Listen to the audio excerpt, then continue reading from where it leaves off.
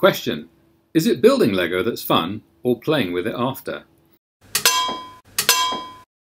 If you're like me, the answer is building Lego. Playing with it? Not so much.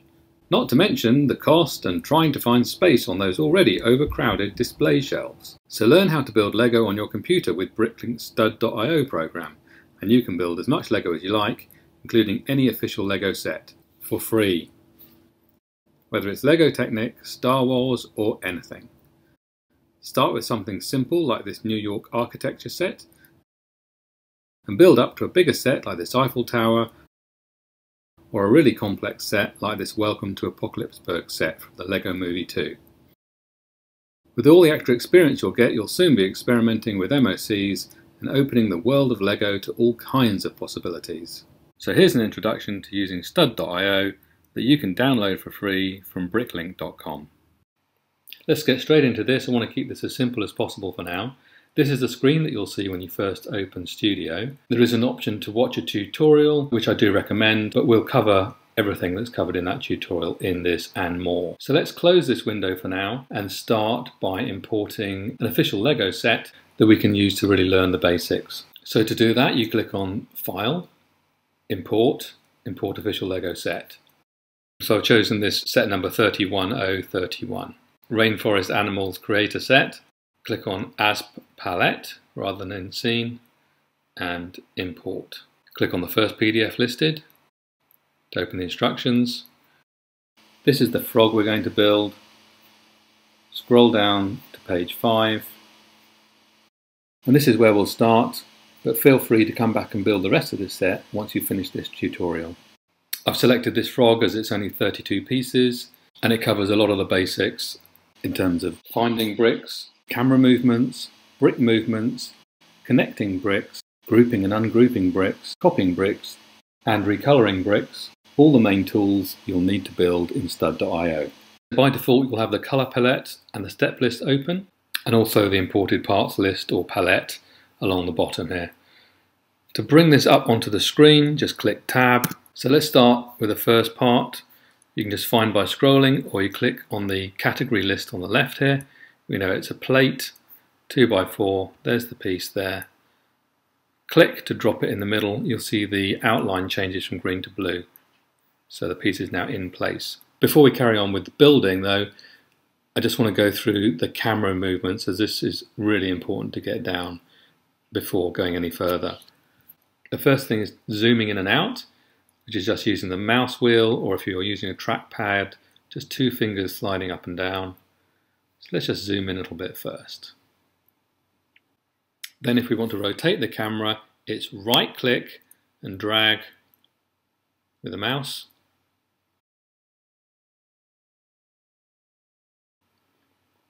And then to pan the camera, it's left click and spacebar and drag to move it up and down or to recenter the part. You've also got these viewport options then click on any of these buttons to select one of these preset views. Okay, so now we've figured out how to move the camera around, let's figure out how to start moving the bricks around.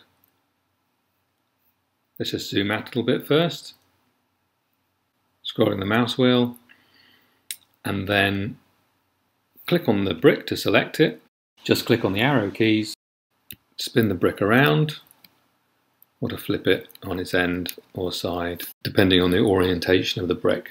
If you right click and drag to look at the side of the brick, then clicking on the up and down arrows will flip it on its side. If you right click and drag to move the camera around so that you're looking at the end of the plate, then the up and down arrows will actually stand it on its end. Another way of moving the brick around is just to click on it to select it, left click and then just drag it around the screen and it'll move around. That'll make more sense when there are other bricks to connect it to, as the program works out how to snap the pieces together automatically. So then a third way to move the pieces around is to click on the part. That brings up this little movement icon. When you mouse over it, it splits into two and you've got the option to either rotate or move the part along the X, Y and Z axes. Let's click on the axis movement icon first. You can see that brings up these three arrows you click on the one you want to move it along and the part will move along half a brick at a time.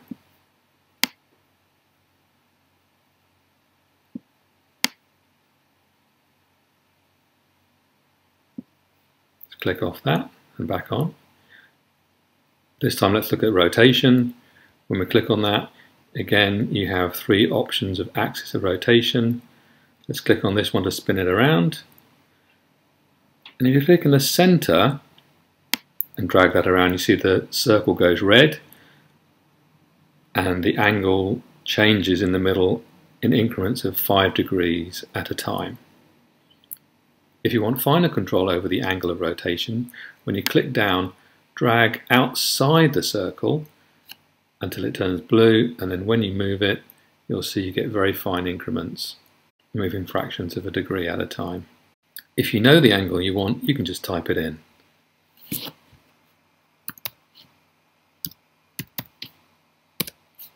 Now let's take a look at connecting bricks by actually building a model.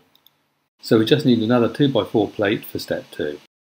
Now to get a copy of this piece, there's a couple of different ways of doing that. Right click and drag to move this into the same orientation as in the instructions. Now to get a copy of this piece, click on it, and then just click C, and there's the duplicated part. I can then move it through 90 degrees with one of the side movement arrows and drag it and drop it in place. Of course, I could have just selected the part from the list again, which if you remember was click tab and then find it there. If I've got a brick selected that I don't want, you just click escape to get rid of it. So let's look at the next step. So step three is we add a couple of hinges. So already we're into a slightly more interesting piece. Click tab to bring up the parts list. And then the hinge is one of the categories. We'll click on that and there is our hinge. Click to bring it up. But you'll notice this hinge is fully open and rigidly held in that position. So how are we going to flex it? Well, let's drop it down first of all, click, and then you notice there's some text along the bottom right here, a few options. So click on release to break it into the component parts. Then you'll need to click off the part to deselect and then click back on just one of the, sides of the hinge and then you can rotate it into the ideal position. Mouse over the movement icon, choose the rotation option, click on the red arrow and let's move that round so that it's got about a 30 degree angle. Notice the angle is actually 150 degrees, which is 180 minus 30, but that's a 30 degree angle between the two halves of the hinge.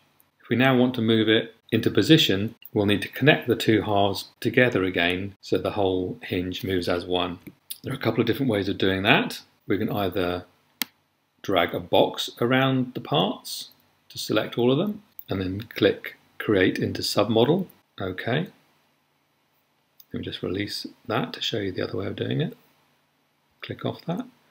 Or you hold command down and click on all the various parts you want to select. Once selected, click Create into Submodel. You can rename it if you wish, and then OK, and there's your angled hinge. Let's rotate it through 90 degrees with one of the side movement arrows. Just going to right click and rotate the camera so we can see from a better angle. And you can see it's already perfectly lined up for this side of the model. So let's just drag and drop that in place. And we want another one for the other side. It's already selected, so just click C to copy. But this one you can see is not at the right angle, but as I bring it over, it snaps into the correct angle. So that can be really useful when you want it, but as we'll discover later, you don't always want it, and I'll show you ways around it. Escape to get rid of the extra part right click and drag to move it back into the same orientation as the instructions. Let's look at the next step. Tab to bring up the parts list. This one is a modified brick. Select brick modified and there's the part. Click on it. Side movement arrow to get the rotation. Drag and drop it into place. Click C to copy spin it around with a couple of clicks of the side movement arrow and drop it into place. Nice and simple. Escape to get rid of the extra unwanted part. The next piece is a round plate. Tab to bring up the parts list. Go down to plate, click plate round, and there's our part. Click on it. And then we can just bring it under the piece and connect it. You can see it drops into place, no problem at all. But if the part becomes hidden when you're placing it underneath another part, you may need to change the orientation of the camera angle to see better. So let me just show you that. I'll move the part to one side for a moment and drop it down there. Right click and drag to reposition the camera. Left click and drag to drop the part into place. Left click to place right click and drag to reposition the camera. The next step is just placing a couple of L-shaped plates, but as you can see, it's adding it to these hinges which are already at an angle, and the problem is that it will try to snap to the same angle as those hinges rather than keeping the alignment to the other parts as it shows in the diagram. So let's give it a try. Tab to bring up the parts list, plate, there's our corner plate piece, Click on that to bring it up. So that's in the correct orientation to drop under the left hinge. But when we try to do it, ah, you see it snaps into the same orientation as that hinge. And if we turn snap off, it just doesn't connect at all. Well, let's turn snap back on. So you can either place the part in the correct position but at the wrong angle, click to place the part, and then once it's in position, click on it again to bring up the movement icon and select rotation. Click on the rotation arrow and then move it 30 degrees, you already know that it's 30 degrees, back into the desired position. That's quite an easy way of doing it, but there is another way. We'll click on it and click C to copy. We'll bring it over to the other side. We'll use the side movement arrows to rotate it into the correct alignment. But this time we're going to use the connect function. When you use the connect function, the pre-existing alignment is always kept the same. So let's click that in place, escape to get rid of the extra part, and this time we're going to click the connect tool, which is a new function, on the toolbar at the top. Click on that. Now you can see clicking on that part brings up a number of these blue squares. This is the stud we want, so we just click that blue cube now we need to click where that part needs to be attached. So we need to see underneath the hinge. So right click and drag to change the camera angle.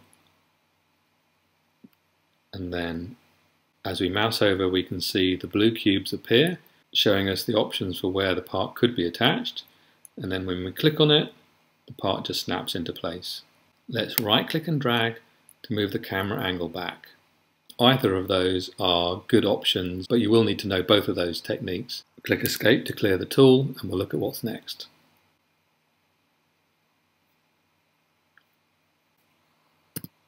Now we're simply just adding a couple more plate parts.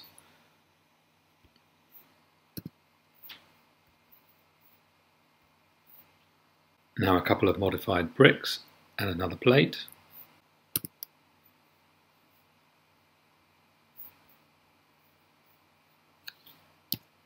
side movement arrow to rotate, C to duplicate, side movement arrow to rotate again. Now this time that just isn't dropping into place, it just does not want to go. So let's place the part to one side, escape to get rid of the extra part, and right click and rotate to move the camera angle to the other side. Now when we pick up the part, it drops into place, no problem at all.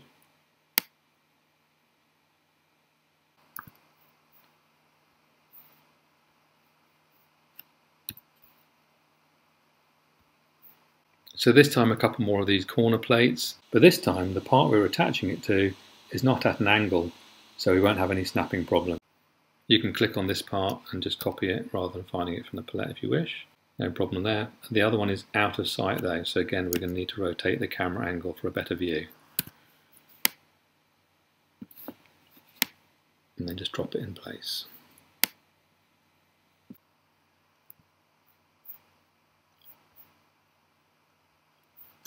Okay, now we're going to learn another interesting feature where we build a small submodel and then once we've built it then we can attach that to the main model. So spacebar, left click and drag to move the model to one side and then that gives us some space to build the submodel. Tab to bring up the parts list and it's a wedge plate so we just click on wedge, there's the part there, slip it around, drop it down then a jumper plate, click plate modified, and two curved slopes to build up the tongue, slope, curved, there's the part. C to copy, escape to get rid of the unwanted part. Now we need to turn this into a submodel. So again, you can either click and drag around or Click on each item in turn as you hold down the command button. Once you've got the part selected, click on the text in the bottom right hand of the window, create into submodel, rename if you wish, OK. One thing you do need to be a little bit careful that you don't accidentally include some of the other parts. So when you build these submodels, keep them a little away from the rest of the model so you don't run into that problem. So you've got your submodel now you can just treat that as a part, click and drag it into place, left click to place it. Again, let's click the spacebar, left click and drag to reposition the model. The next piece is half of a ball and socket joint, followed by a wedge. Tab, modified plate. There are the two parts of the ball and socket joint. Movement arrows to rotate, click and drop it in place. Tab to bring up the parts list. And then we can either scroll down or just click on wedge. And there's the wedge brick we need. It's already in the right orientation. Click to place the part. So we need to build another submodel now to create the rest of the frog's head. Again, let's click spacebar, left click and drag to move the model to one side to make space for the submodel. Tab to bring up the parts list. There's our wedge plate. Drop that in place. Then plate. Modified plate, the other half of the ball and socket joint.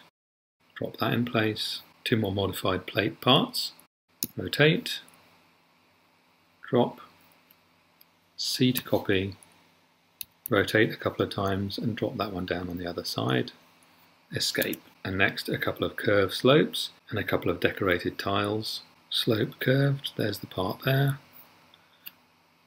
Rotate it, drop it in place, C to copy, drop it in place, escape tab to bring up the parts list, tile decorated, click on the first eye, arrow to flip up, drop it in place, C to copy, drop it in place, escape. So let's try and rotate these eyes now. So click on an eye, click on the movement icon and rotation icon. Let's move the tab around that looks good to me. Click on the other eye, movement icon, rotation icon, and drag that around. So let's have a look. Remember it's right click and drag to move the camera angle. Maybe not 100% symmetrical. And I think that's looking pretty good.